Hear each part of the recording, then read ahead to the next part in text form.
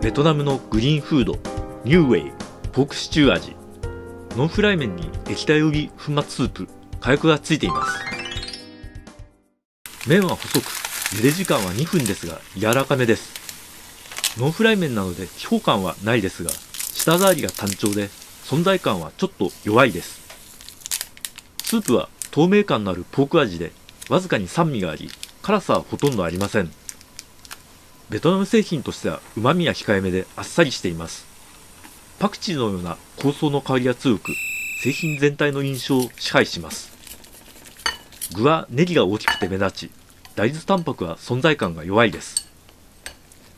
品質感は悪くないので麺もスープもあと少し改良すれば結構いい製品になりそうです。